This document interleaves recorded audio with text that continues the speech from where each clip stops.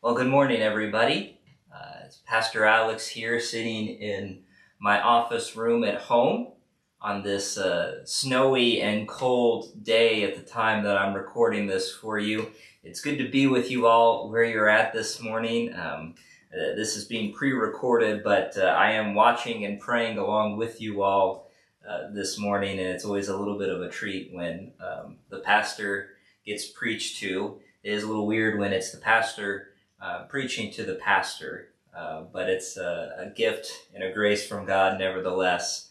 Uh, we're going to worship this morning, and just to give you a little bit of the, the layout, um, uh, we will uh, do some reading of scripture. We'll have some song tracks. There won't be any vocals on it, but there will be lyrics. You'll be able to follow along and, and sing some of those songs with us. Uh, I'm going to preach as best as I can. I'm a little congested. My ears are a little plugged up. But other than that, I'm, I'm feeling okay. So we're going to worship the Lord this morning, and we're going to begin uh, by receiving a call to worship. Um, yesterday was New Year's Day, and so in light of that, we have a, a, call to worship that is inspired by a couple of New Year's Day uh, texts uh, from Matthew chapter 11 and from Revelation 21. I invite you just to receive this call to worship. Come, all who are weary of wealth, of poverty, of power, of struggle, of division. Come, all who are heavy laden, with too much, with too little, with anxiety, with fear, with anger. Come, all who have hope for liberation, for peace, for freedom, for the kingdom. Hear these words of Jesus. See, I am making all things new. Let's pray together this morning as we begin our time of worship. Ever calling God, we give thanks that you have gathered us into your church and graced us with your faithful presence.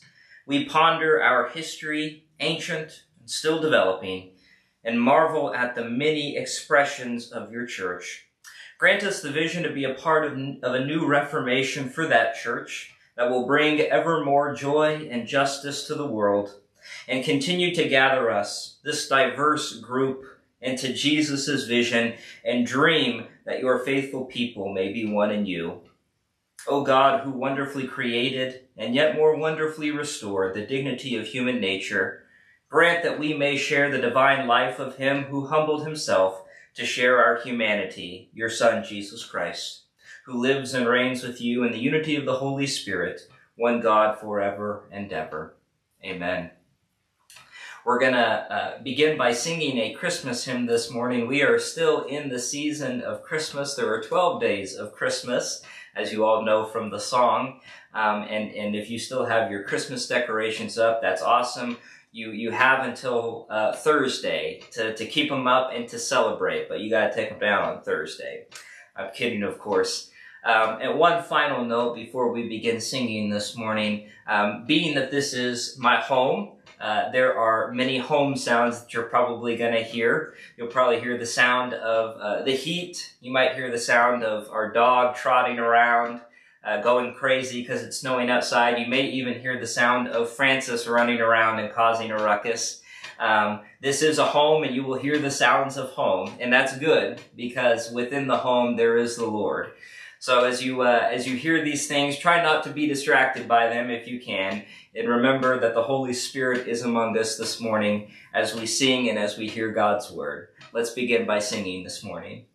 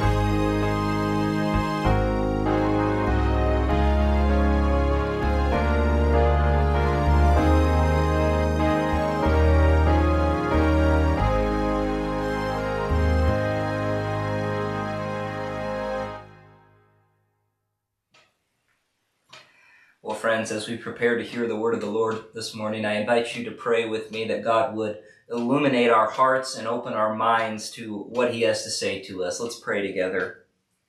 O God of light, you have revealed your very self to us in your Son, Jesus Christ, your Word made flesh, who lived among us full of grace and truth.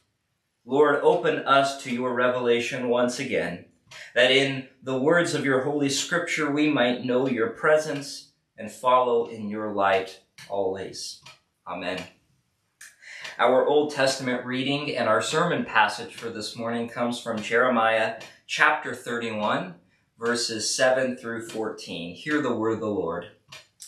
The Lord proclaims, Sing joyfully for the people of Jacob. Shout for the leading nation. Raise your voices with praise and call out, The Lord has saved his people, the remaining few in Israel. I'm going to bring them back from the north. I will gather them from the ends of the earth. Among them will be the blind and the disabled, expectant mothers, and those in labor. A great throng will return here. With tears of joy, they will come. While they pray, I will bring them back. I will lead them by quiet streams and on smooth paths so they don't stumble. I will be Israel's father. Ephraim will be my oldest child. Listen to the Lord's words, you nations, and announce it to the distant lands.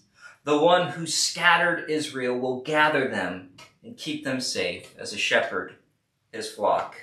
The Lord will rescue the people of Jacob and deliver them from the power of those stronger than they are.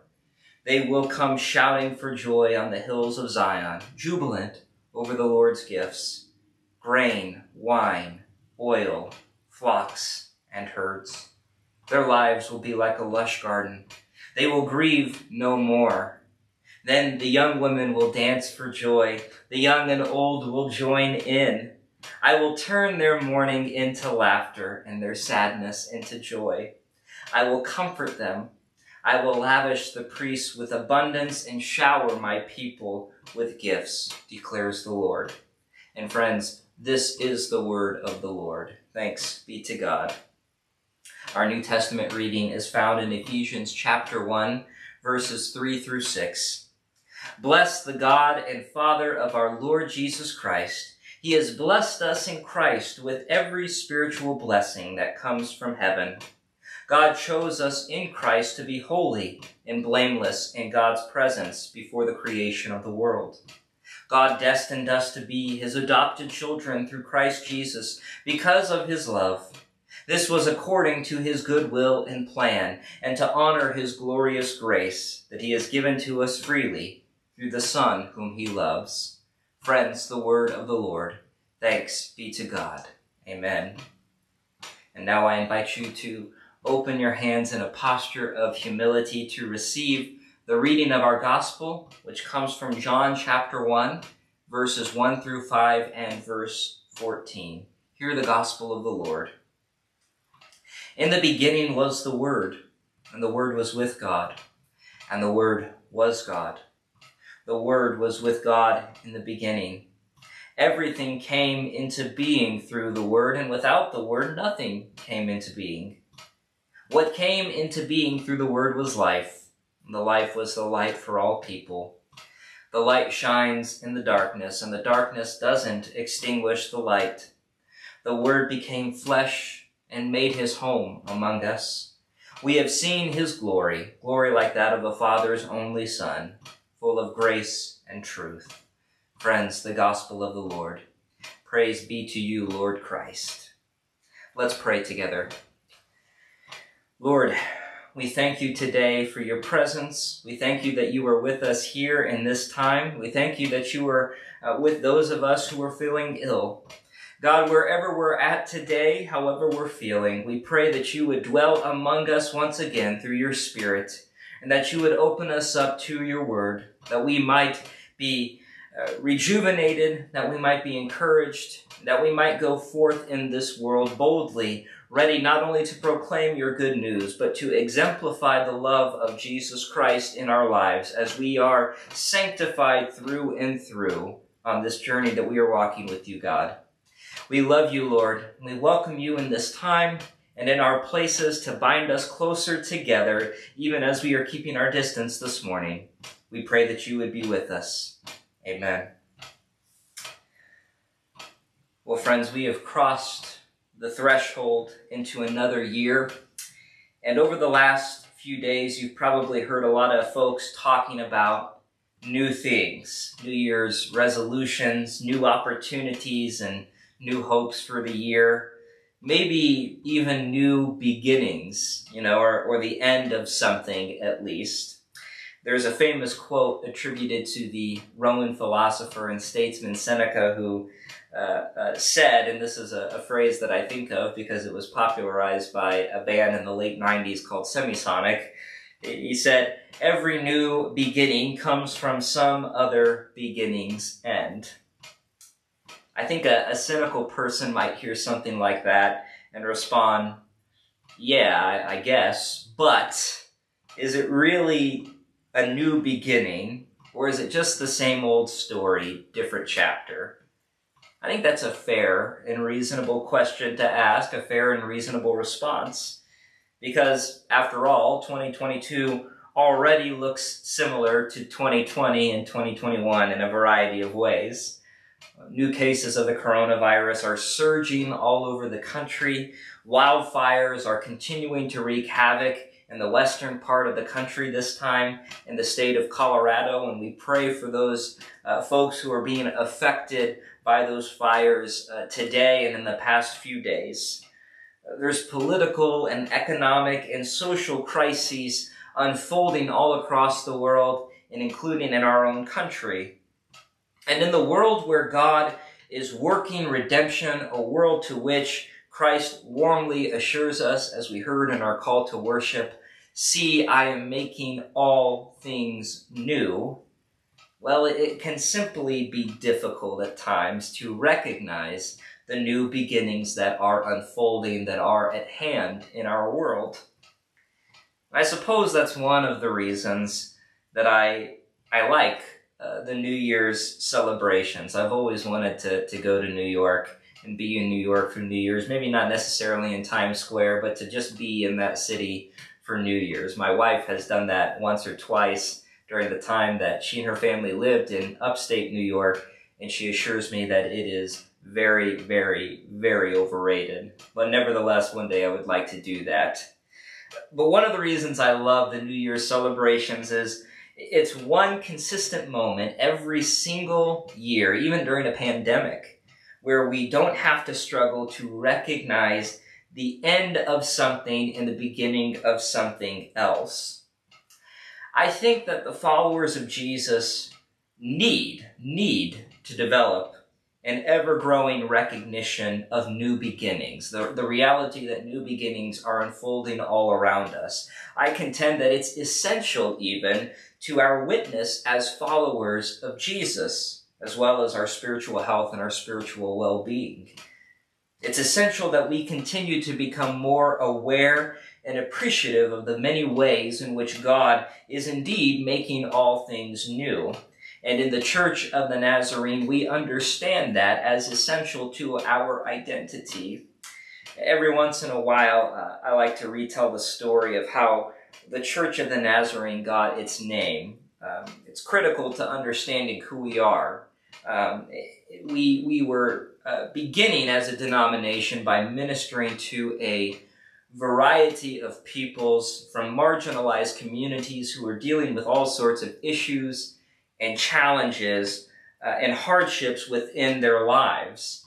And, and, as the, the early Church of the Nazarene, the group that would become the Church of the Nazarene, was ministering to these folks, they couldn't help but remember a story from the first chapter of John, uh, just a little bit after the, the New Testament reading from John that we had, or the Gospel reading that we had from John this morning, uh, one that takes place in uh, verses 45 and, and 46, where after one of Jesus' early followers, Philip, goes to his friend Nathanael and says, Hey, we have found the Messiah. It's Jesus of Nazareth. Nathanael uh, scoffs and, and wonders aloud, is there anything good that can come from Nazareth? And, and Philip persists to Nathanael and says, Well, come on and see. Come and see for yourself. And that's where he encounters Jesus. And that's where Nathanael first begins to recognize that something good, something new is at hand in his life and in the, and in the world around him through Jesus.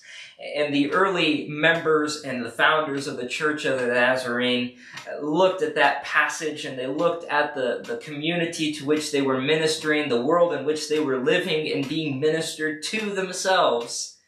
And they could hear the voices of people all around them saying, Come on, folks, is there anything good that can come out of this community or that community, the community dealing with this issue, with this challenge, with this hardship? Is there really anything good that can come out of them?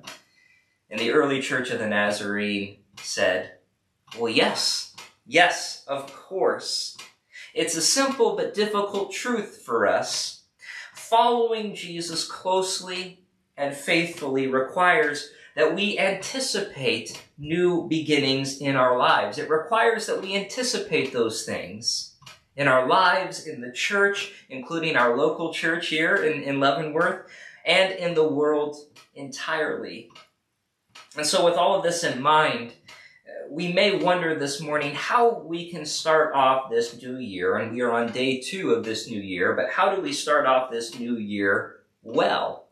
We may wonder how we can welcome the new beginnings that are already at hand in a way that's not only spiritually healthy and faithful to the way that Jesus calls us to follow, but especially a way that enables us to be uh, perhaps receptive of God's presence. Certainly, these aren't very simple questions to ask, but I, I do maybe have a simple or at least an overly simplified answer to them this morning we need to be ready to encounter God in this new year. We need to be ready as faithful followers of Jesus, as Nazarenes even, for the good things and the new beginnings that God is going to bring about this year. That is how we can start off the year well. The prophet Jeremiah, like most of the prophets before and after him, preached a message of readiness in 2021, we learned a little bit about the situation into which Jeremiah was called to prophesy during our summer series on the minor prophets. Jeremiah wasn't a minor prophet, but he did live in the same time as many of them.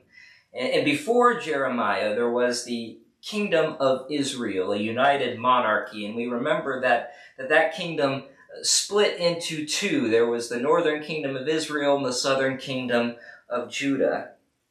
And over the next couple of centuries after that split, those two nations would gradually embrace political and economic and social power over faithfulness to the covenant that God had established with them. And the results were tragic and disastrous. Not only did they begin to worship and share their allegiances with false gods, false deities, they also fundamentally abandoned their social responsibilities. Because rather than care for the poor, the orphans, the widow, and the foreigners who were in their midst, uh, they neglected and took advantage of them. They would even take them to court to try to squeeze out every last bit of resources, money, or possessions that they could possibly get from them.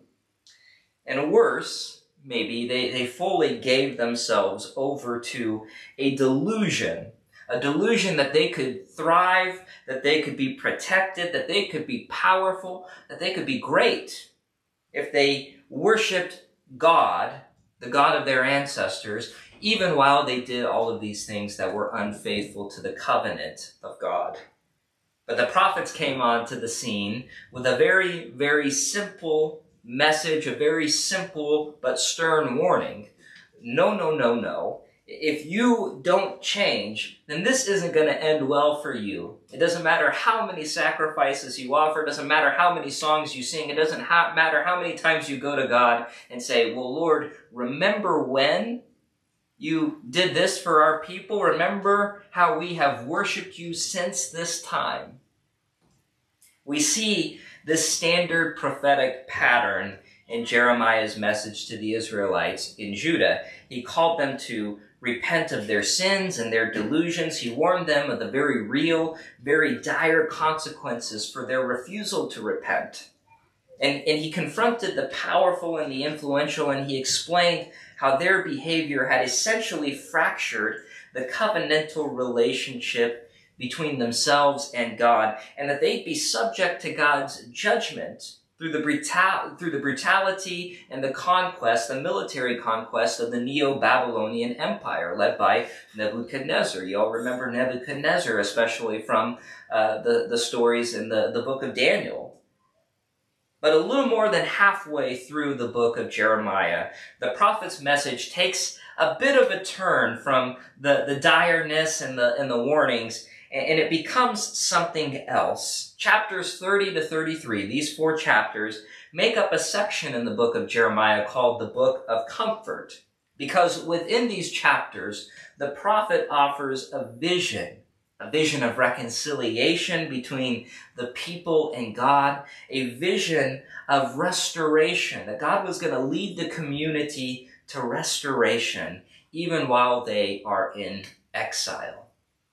And our passage this morning, Jeremiah 31, verses 7 to 14, was a message that was especially meaningful for the remaining few Israelites who lived through the trauma of Jerusalem's destruction and the journey into exile in Babylon. Alongside also the Israelites who were born into exile and who experienced many of the same issues that countless generations of displaced people and refugees have experienced even today.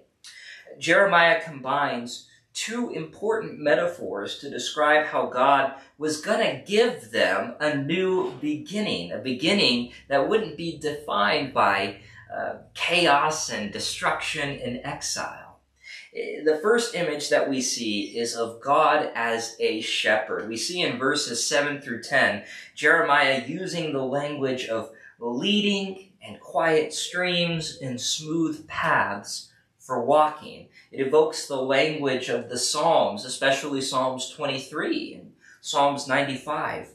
Uh, and also Isaiah. Isaiah ministered uh, to the northern kingdom of Israel before their destruction um, uh, or ministered to Israel and Judah before Israel's destruction in 722. And uh, Isaiah 40 verse 11 depicts God as a good shepherd who leads the sheep to, to safety and to comfortable places and who seeks out and finds lost sheep and brings them home.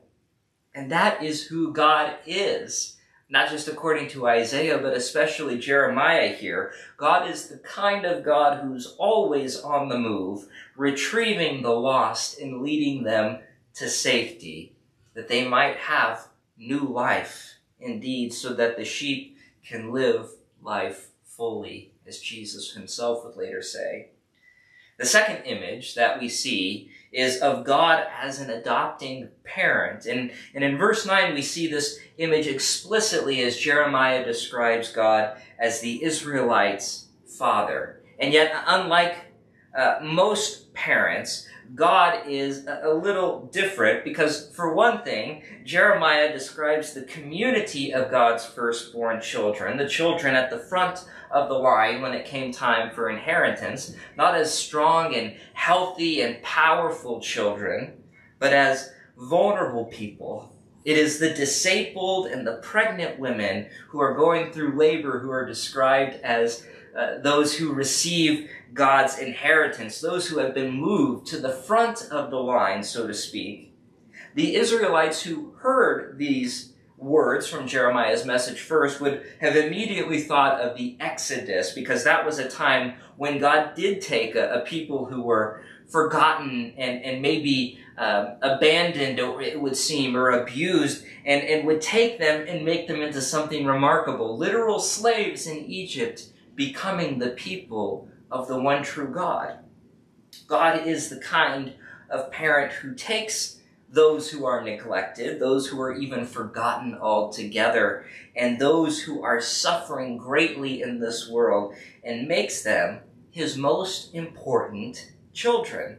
the claimants of God's greatest promises. God gives them a new beginning, Jeremiah tells us. And can you see why this message was so important for the Israelites and why it's important for us today? No matter what's happened to us, no matter who we've been in this past year, there's hope. There is hope for the future. And the reason there's hope for this year and for all the years to come is because of who God is. By God's own nature, God is one who is love and mercy and whose love and mercy leads to reconciliation and restoration and new beginnings. The kind of new beginnings that change not only our circumstances in the world, but most importantly, the way that we see God and other people and even ourselves. Perhaps this is the reason that Jesus taught us a radical way of loving God and loving our neighbors. Because if we can embrace God's love for us, and if we can release God's love to the neighbors and to, to those all around us in the world, then the future will be bright with God's light. The work of God will be unmistakable to us, bright as day, and we will see ourselves for who we really, really are. We are followers of God, walking behind Jesus Christ on a new adventure in life, one which takes us toward and into the, the community of the great mystery that is God. God is a mystery to us, and Jesus leads us into the presence of that triune God. You know, as I was praying and writing uh, for this message this week, God stuck an old song in my head, and it's one I still can't get out of my head even right now. Uh, a song that was penned by Curtis Mayfield and performed by his group, The Impressions, in uh, the mid 1960s. A song called People Get Ready. And it's a song that was written at the height of the American Civil Rights movement in the mid 1960s, during that era when many southern states were using legal mechanisms at the local and at the state level to prevent black Americans from being able to vote. And Mayfield could sense that there was something incredible that was about to happen, something that was about to change, a new beginning on the immediate horizon in the United States for black Americans. And by the providence of God, a new beginning, a new era did in fact unfold in 1965, the year the song was released, because in August of that year, the uh, Voting Rights Act was enacted, the Voting Rights Act of 1965.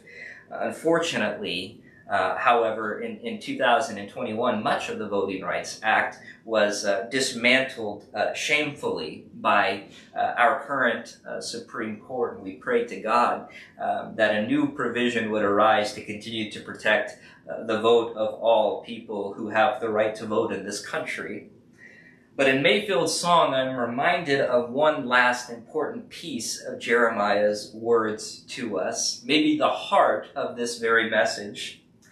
God is going to continue to make all things new in 2021, just as God made uh, something new happen for the Israelites after their fall, after the destruction of uh, their their uh, their state, after the destruction of the temple and the city of Jerusalem itself, and after their exile. But there is one critical question that they had to ask themselves, one critical question we have to ask ourselves. Are we ready? Are we ready for God's love and grace to come roaring like a train in our lives and in our, our families' lives and in the life of our community and in the world itself this year in 2022? Are we ready for the new beginnings, the new encounters with God this year? Are we ready for these things? And if not, well, there is still time to get on board that train. In 2022, we need to be ready, ready to remain behind Jesus on the smooth and straight path. You know, Jeremiah's word of hope and comfort is offered specifically to those who remain in God, even in the midst of their pain and their terrible struggles.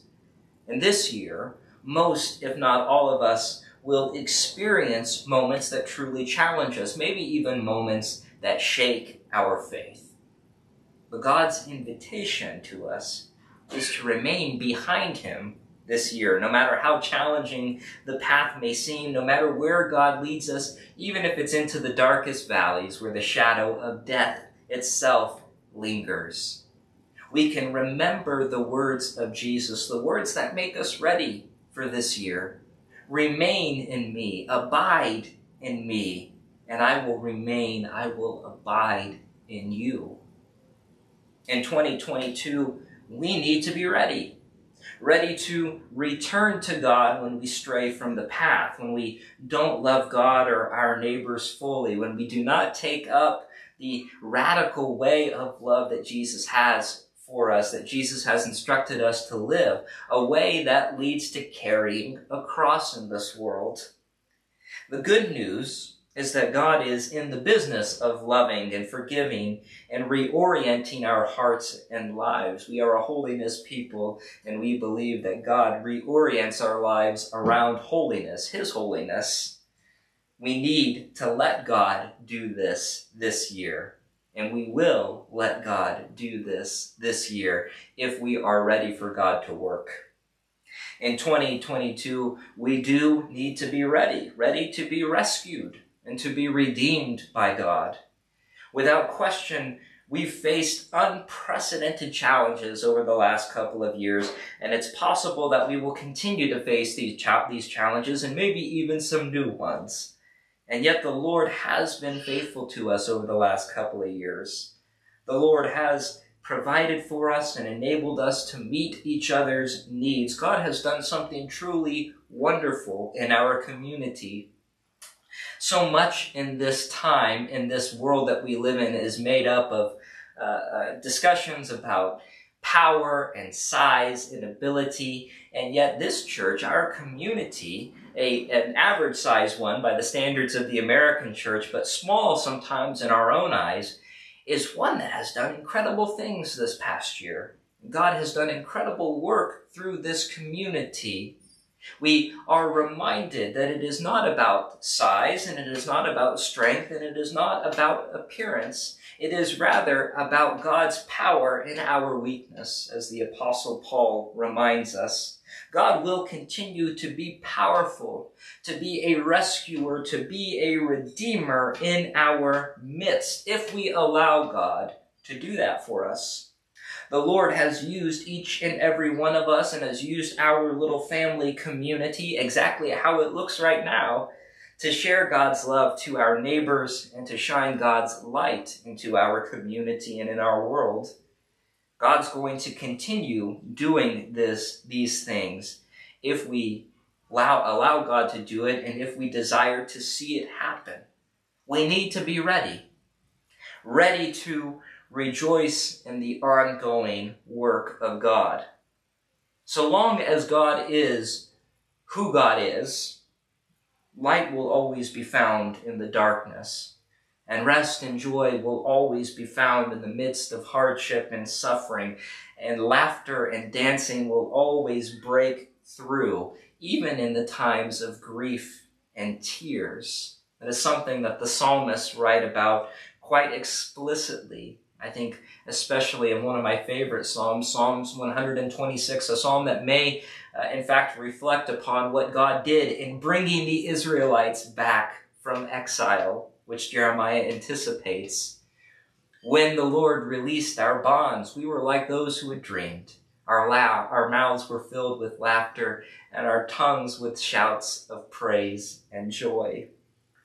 God is indeed making all things new. God is indeed giving us a reason to shout for joy and to laugh and to dance even in this time. Even as I sit here to you, congested and trying to speak and get through all of this, I have a reason to be joyful because God is making all things new already in this world. And I know God is going to renew uh, my health and the health of my family in due time. But whatever happens in 2022, God will continue to make all things new. We just need to be ready. Ready to work with God, ready to get on board with what God is doing in the world, even when getting on board with what God is doing feels like a train that's taken us to new places and on unfamiliar tracks. But we can do this. We can because God is good and because God is going to be with us. I leave you all in this message with the opening verse of Curtis Mayfield's song, People Get Ready. People get ready. There's a train a comin'. You don't need no baggage. You just get on board. All you need is faith to hear the diesels humming. You don't need no ticket. You just thank the Lord. Friends, get ready for this new year and for what God is going to do. And may you thank the Lord and rejoice in your hearts and in your lives. Amen.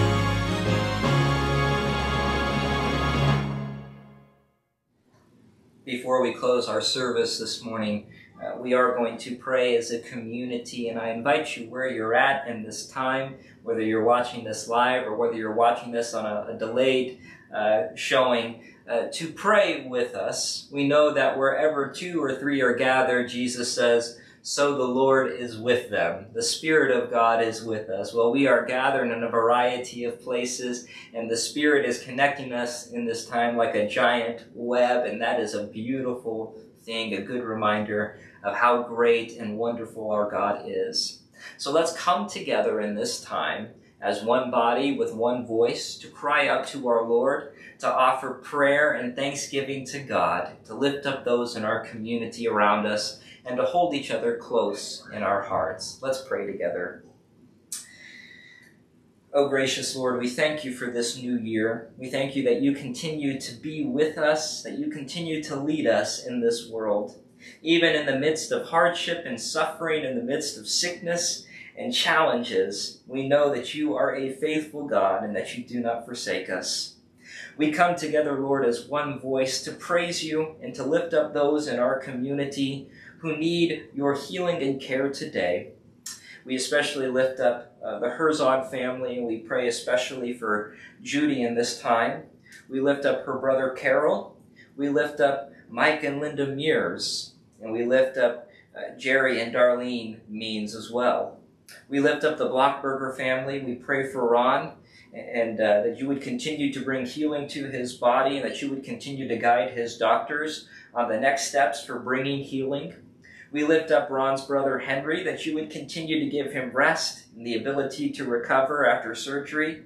And we lift up Matthew and Cheyenne Blockberger as they continue to grieve the loss of a family member. We lift up John Willingham. We lift up uh, Viola and Mark Budd, that you would continue to show the three of them mercy, that you would continue to reveal your love to them. We lift up Chuck and Charity Cunningham. We pray that you would continue to Chuck, uh, touch Chuck's body. We lift up Andrew Wyatt and Audrey Combs. We pray that you would bless them and bless their family. We lift up Jolene. We lift up her children as well, that you would continue uh, to lead her and to guide her. We lift up uh, Lee Roberts or Lee Robertson. Uh, we lift up Gladys and Ralph Corder. We lift up the Sprung family. We especially pray for uh, Suzanne and Brian's grandson Isaac and his family. We lift up the Thomas family. We pray that you would bring continued uh, uh, recovery and healing to Darlene's body. We pray that you would continue to be with the family, to sit close with them as they continue to grieve Larry's death. We lift up the James family for protection and blessing as Rob continues his service. We lift up the Erics family. We lift up the Enemark family. We lift up our sisters Joan Teeters, Tricia Bond, Betty Schirmbeck, Shirley Christie, and Lucille West. We lift up Jim and Janet Ramey for continued guidance and, and mercy for their own health. We lift up our brother Charlie Mullins we lift up Connie Holt's family. We especially pray for uh, those in, in her family who are really, really struggling in this time, that you would reveal yourself, that you would surround them with the love and the grace of community. We lift up our sister Jane Kimball. We lift up uh, Renee's sister Yvonne. We lift up our friend Jason. And we lift up uh, our sister Kara as she and her siblings grieve the loss of her mother, Christine, we pray today as they lay her to rest that you would be present with them. Lord, in your great wisdom and in your incomparable love, have mercy on all of these, your beloved children, and continue to protect us, God, as we all strive through this pandemic. Be with our doctors and healthcare workers. Be with those who are suffering from the virus, and be with those who are grieving and lamenting the loss of friends and loved ones to the virus. O Creator, continue to bless and sustain us through your healing work and through your gift of medical science. We pray, God, for our community, the Leavenworth Church of the Nazarene. We pray for our community of faith all across the world. God, guide us in your wisdom as a denomination. Uh, guide us uh, as a, a, people who are following you, we especially lift up our district leaders, our uh, denominational leaders, our international leaders, and our office personnel. We pray that you would bless and protect our missionaries who are serving faithfully around the world. We especially pray for uh, our friend Jay and his family serving in Central Europe. We pray that you would continue to stir the hearts of the people in Poland and all across Europe we pray that the, the nations would continue to come to you and that you would provide workers for the harvest, Lord. Lord, we pray for provision and wisdom, uh, for uh, compassion for our churches here in Leavenworth. We pray that you would equip the leaders of our community and of our government at the local, state, and federal level with what they need to lead compassionately and with wisdom. We pray for mercy for all of those who are traveling this week, especially those who are uh, traveling through winter weather or through dangerous places in our country. We pray for encouragement for all who are experiencing a season of transition and uncertainty.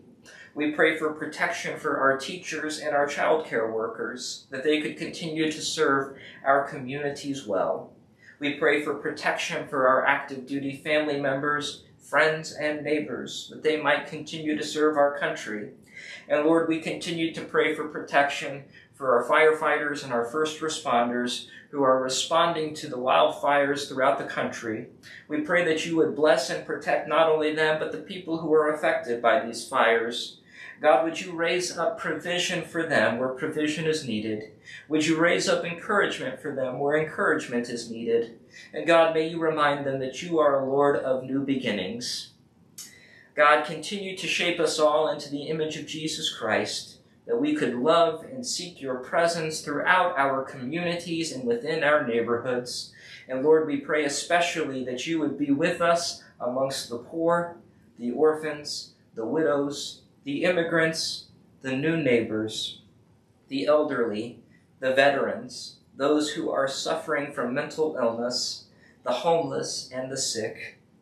Lord, we ask you to hear these cries that we lift up to you cries for uh, binding up the injured, for healing the sick, for provision for those who feel empty, for reconciliation for the lost, for justice for the land and for the people and for comfort uh, for all whose hearts and whose faith may be broken today. And now, Lord, we take a few moments to call out to you the names of others for whom we are praying in this time.